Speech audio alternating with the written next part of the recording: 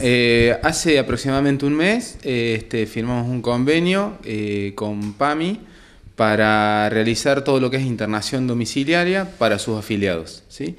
esto incluiría un poquito todos aquellos pacientes que no es necesario tener una internación en el sanatorio, pero tampoco están en un estado de salud para estar en, en su casa. Entonces hay ahí eh, un punto intermedio que a veces es muy complicado para una persona mayor que, está sola con, eh, con, su compañero o compañera que también es de cierta edad, entonces eh, se ha formado un equipo que consiste de médico, enfermero, fisioterapeuta, terapista ocupacional, donde se le hace un soporte, digamos, de, cuidado, de, controles, de de estimulaciones para que puedan este, eh, tener una mejor calidad de vida, ¿no es cierto?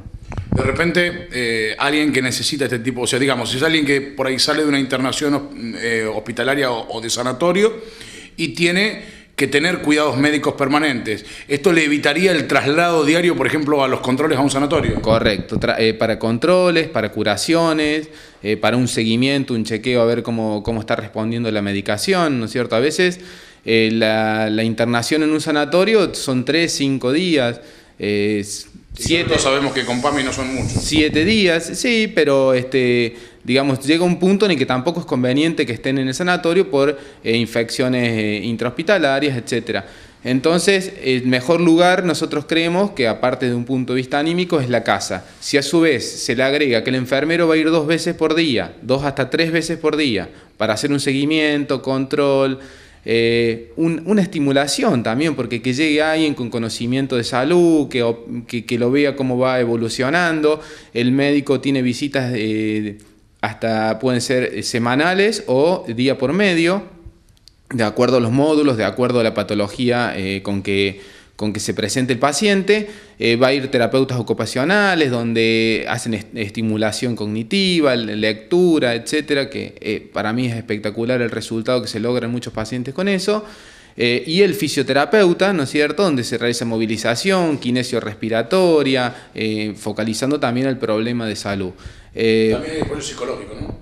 También hay apoyo psicológico. Yo creo que esto al paciente, indudablemente, nosotros lo, hemos observado en este mes que, ya no, que hemos empezado a, este, a prestar este servicio es algo muy, muy bueno. Eh, los pacientes, la familia, eh, cuando lo reciben se nota un alivio, una tranquilidad, una alegría muy grande y un agradecimiento muy grande porque están un poquito desprotegidos, solos, eh, y bueno, y tener una compañía, una orientación y un cuidado como el que le prestamos, la verdad que este, les hace muy bien. Esto, eh, afortunadamente, la verdad que es algo muy, muy, muy bueno. Eh, no hay costo de por medio, tal es así que no necesitan ni siquiera los elementos de curación, todos aportados por, por nosotros, digamos, que, a quien nos ha contratado PAMI, eh, y todo lo que es medicación, ¿no es cierto? A ver, pongamos un ejemplo, una persona sale del sanatorio, por un X problema y surge alguna infección donde debemos este, dar algún antibiótico, algún medicamento, lo recetamos, el familiar va a PAMI, se autoriza y se compra eh, sin ningún costo en la farmacia. O sea, cuando está dentro de la internación domiciliaria, el afiliado, el paciente, no debe ni siquiera gastar en medicamentos, eh, elementos de curación, nada. Sonda, suero, nada. O sea, te cubre el 100%. ¿Qué tipo de pacientes comprende esto? ¿Todo paciente está dentro de la posibilidad de una internación domiciliaria? ¿A quiénes está dirigido? ¿A quiénes están encuadrados dentro de este beneficio? Bueno, eh, se divide un poquito por módulos. Los pacientes, eh, PAMI, ¿no es cierto?, que tengan algún problema de salud, eh, donde necesiten asistencia, llamémoslo curaciones, controles de tensión, ¿no es cierto? Sabemos que las personas PAMI eh, por la edad, algún problema de salud eh, eh, la mayoría presenta. algunos son leves, se puede hacer con este consultorio externo, pueden ser controles mensuales, esa gente no, no, estaría, no tendría motivo para pertenecer a este sistema.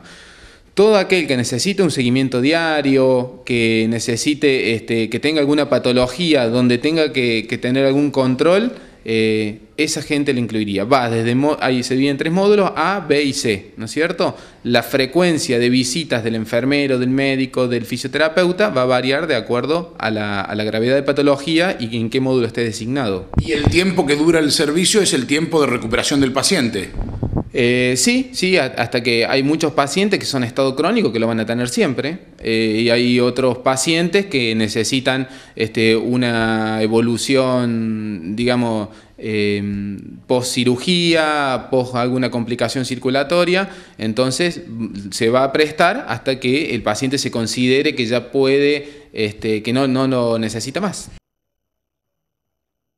El trámite eh, es muy sencillo, eh, tienen que su médico de cabecera, cada afiliado PAMI tiene un médico de cabecera. El médico de cabecera tiene una planilla en su consultorio, en su escritorio tiene una planilla, eh, la cual la debe llenar indicando en qué estado está el paciente, qué patología o problemita de salud tiene, junto con una solicitud pidiéndole la, internación domiciliaria y poniendo el módulo que a él le parece. Si después eh, no es ese el módulo, nosotros lo reestructuramos, pero eh, el, todo el material que ellos tienen, folletería, fichas, ahí lo explica.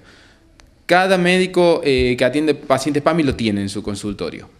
Luego el familiar lleva esto a la delegación PAMIA que da Marco Juárez, se autoriza y nosotros a las 24 horas ya estamos comenzando con el servicio. Es muy simple, muy simple. El paciente va al médico y dice, doctor, yo me gustaría recibir el servicio de internación domiciliaria. Si el médico evalúa que está dentro de las características, llena la planilla, la planilla va a PAMI, PAMI autoriza y en 24 horas se está prestando. Así es el, así es el sistema y eh, la verdad que para nosotros, eh, como te vuelvo a repetir, es algo eh, para el afiliado PAMI es una cosa muy, muy, muy buena y la, ahí la importancia que lo conozcan, de que existe, ¿no es cierto?, para aquellos que realmente lo necesitan puedan acceder a eso.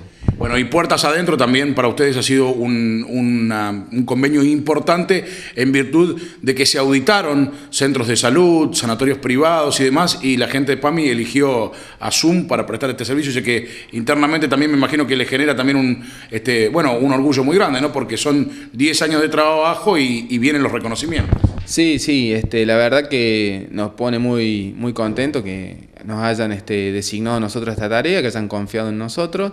Este, para la empresa significó una reestructuración, ¿no es cierto? Por, eh, tuvimos que ampliar ciertos servicios, como la parte de enfermería, eh, fisioterapia.